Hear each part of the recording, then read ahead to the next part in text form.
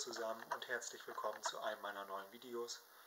Heute geht es mal um den Arbeitsdruck in dieser kranken Arbeitswelt, die wir mittlerweile haben.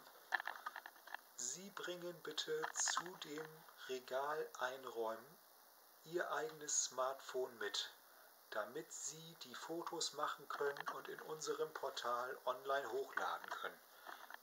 Sie müssen also Fotos hochladen, dass Sie den Regalboden oder die Regalböden im Supermarkt richtig bestückt haben und müssen uns das nachweisen mit Fotos. Für diese Arbeit bringen Sie bitte das Fotogerät mit. Und Sie sorgen auch dafür, dass alles funktioniert. Wenn es runterfällt, kaufen Sie sich bitte ein neues Smartphone.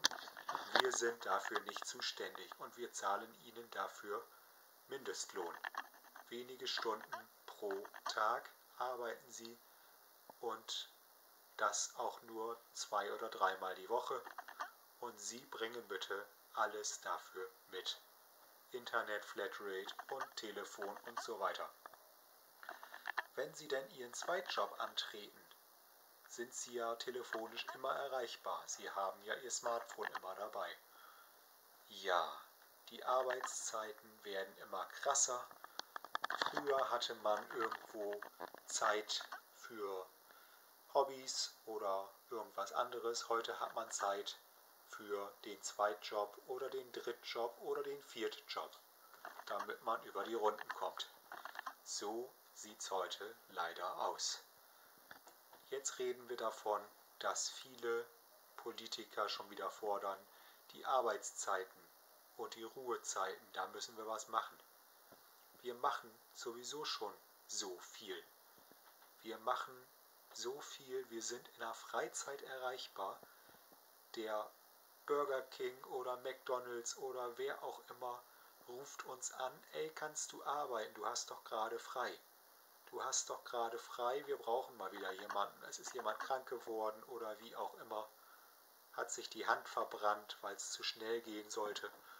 Oder wie auch immer. Du wohnst doch in der Nähe, kannst du nicht eben mal, rum, eben mal rumkommen, nur für so zwei, drei Stunden. Und wenn du auf die Uhr guckst, ist schon wieder eine ganze Schicht rum. Das ist völlig normal. Du kommst aus der Ruhezeit und springst ein. Viele andere Berufe werden das auch kennen. Ja, das ist völlig normal. Ruhezeit, nein, danke, mache ich nicht, brauche ich nicht. Politik redet davon, wir müssen das alles aufweichen. Wir brauchen keine festen Ruhezeiten. Das ist völlig egal.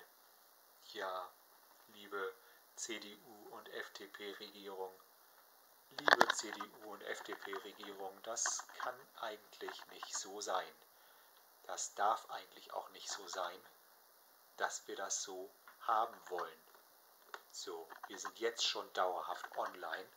Wir sind jetzt schon immer erreichbar. Wir müssen denn irgendwo über Facebook oder WhatsApp-Gruppen uns organisieren, damit wir vom Chef denn auch gleich erreicht werden können oder von den Kollegen, wenn wir denn mal später kommen. Die Fahrgemeinschaft kommt heute fünf Minuten später.